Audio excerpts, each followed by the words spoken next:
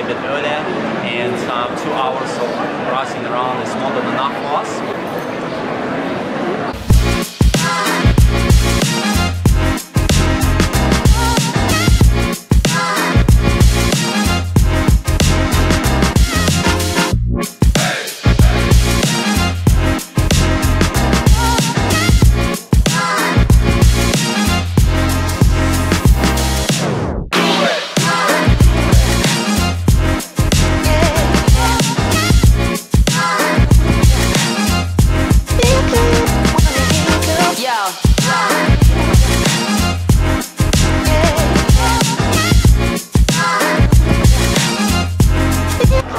Got James Hardie here, supply of the weatherboards, famous across New Zealand and Australia.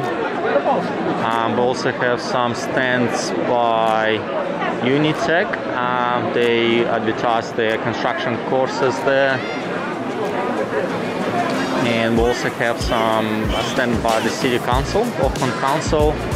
I've got some representatives and um,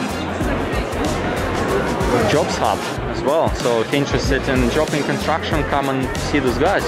Yeah, today is a perfect day to attend one of the expos.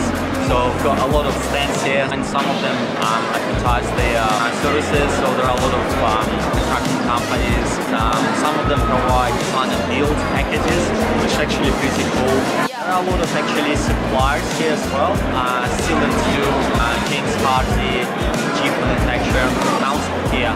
So if you're keen to the council about building consents or resource consents, so um, they have their stand here. Yeah. So I had a chat with a lot of uh, property developers, a lot of architectural companies. You can also see some samples of some products some companies provide. For example, tiles, kitchens, whatnot.